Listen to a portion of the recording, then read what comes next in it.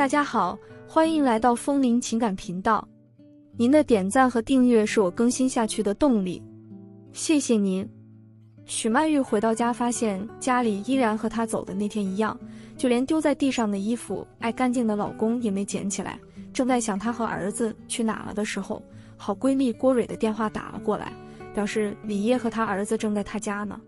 许曼玉还没反应过来，为什么老公和儿子在她家，就听郭蕊说：“你走的那天，我正好去你家找你，却发现李烨一个人坐在沙发上痛苦的挠头。”我不知道这么优秀的一个男人，你为何要让他这样？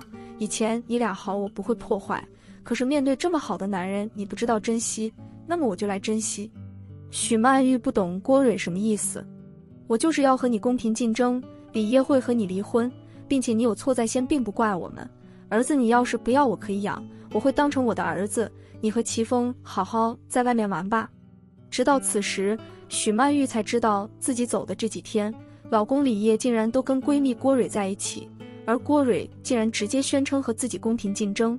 你个不要脸的女人，那是我老公，我就出去这几天陪陪齐峰。你竟然抢我老公！许曼玉骂骂咧咧，也一脸愤怒。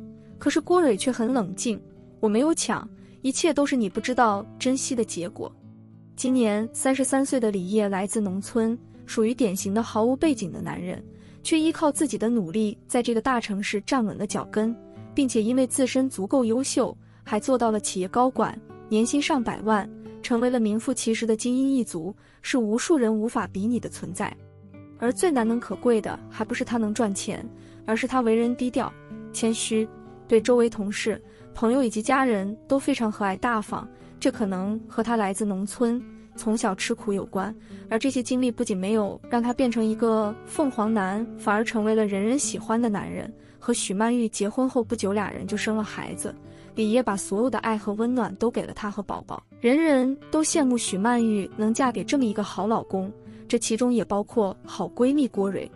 郭蕊全程参与了李烨和许曼玉的恋爱过程，在她眼中，许曼玉虽然漂亮，但是性格十分不稳定，小姐脾气极大。和她不一样，许曼玉之前还处过好几个对象。可即使这样，李烨还是一心一意地追求许曼玉，对她的承诺每一样都能做到，好脾气好到令人气愤，甚至让郭蕊都大喊：“为什么你就能碰到这么好的男人？”许曼玉还得了便宜，还卖乖说：“很好吗？”郭蕊就去搔许曼玉的痒，不让她气自己，说：“哎，要他不是你男朋友，我肯定抢过来。”许曼玉听后也不以为然。许曼玉除了有郭蕊这个女闺蜜。还有一个非常要好的男性朋友，用现在的话说就是男闺蜜，叫齐峰。许曼玉认识齐峰的时间，甚至比认识郭蕊的时间还长。两人从初中就相识，一直是死党。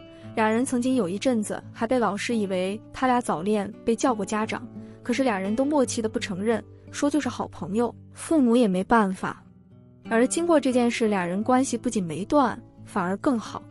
上大学后有了钱和时间，俩人还会一起去聚餐、看电影，甚至一起游山玩水。许曼玉手机里的图片一多半都是她和齐峰在一起玩的时候拍的，可俩人始终都没有在一起，都是各谈各的恋爱。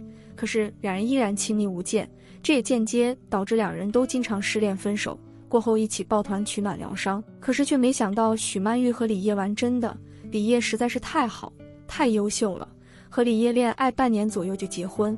而齐峰依然在恋爱和失恋中不断徘徊，李烨也知道妻子有好朋友，对于郭蕊他从不过问，可是对于齐峰，李烨总是好脾气的说不要和他过多接触。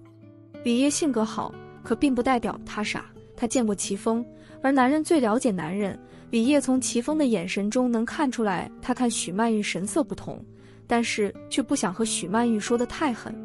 然而，许曼玉却总是大大咧咧表示，两人是很好的朋友，不会出圈的。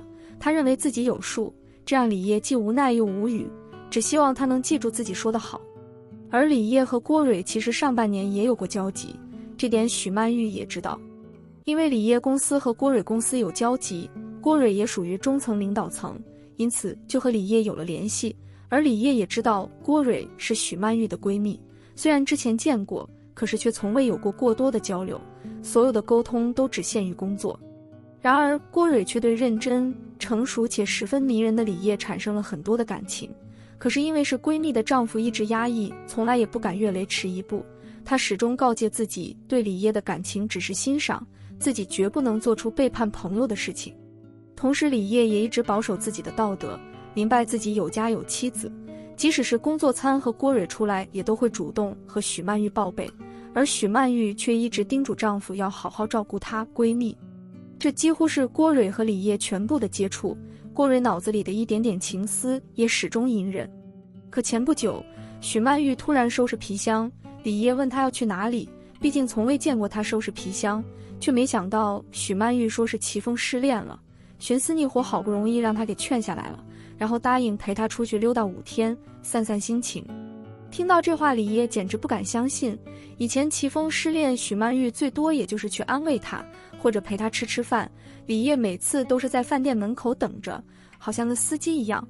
可这次竟然要一起出去旅游，李烨脾气再好也接受不了，立马说：“你知不知道你是结了婚的女人？你是我的妻子，失恋你说两句就行了呗，怎么还能一起出去那么多天？”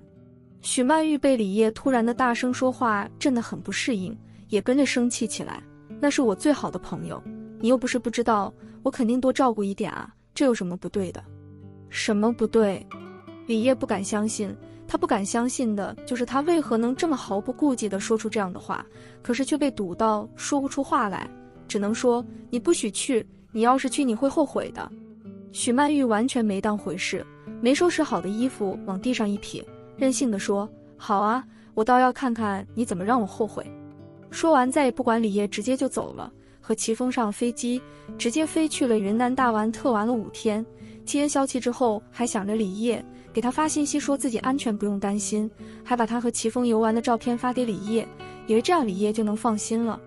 回来的时候早就忘了李烨是否还在生气，买了一些土特产就回家了，却发现根本没有李烨的影子。接到郭蕊的电话，才知道一切，大骂郭蕊是不要脸的女人。趁着她不在，竟然真的抢她老公。可是郭蕊任凭许曼玉的谩骂，只是淡淡的说：“你俩要是好，我从未想过抢。然而给你这么好的老公，你却不知道珍惜。我都多少次和你说过，不要和齐峰走得太近。你毕竟是有老公的人，可是你不听。那么你不珍惜的男人，我来珍惜。无论是长相还是事业，亦或是爱，你比我都差远了。而现在你这个行为更加配不上李烨。”那么他也值得拥有更好的。许曼玉对于郭蕊的话一个字都不信，不断联系李烨，希望他离开郭蕊，回到自己身边。可是李烨却一个字都不想和许曼玉说，没几天就发给了许曼玉一张票据。许曼玉看后立马瘫坐在地上，因为那是一张起诉离婚书。而之后因为李烨经济能力更好，儿子被判给了李烨，两人也正式离婚。可李烨却一直没有和郭蕊结婚。而是像热恋的男女一样先交往。郭蕊对李烨尽心尽力，可是许曼玉没有了李烨，立马萎靡起来。最初也闹过、打过，可是，一切努力全都让李烨和郭蕊无视。就连许曼玉自己都觉得自己是一个小丑，而和齐峰也因为自己离婚断了联系，几乎一夜之间失去了所有身边的人。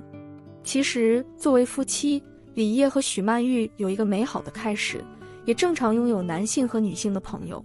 可是俩人对待异性朋友却走了完全不同的道路。好了，这篇文章到这里就结束了，不要忘了右下角点击订阅，谢谢大家。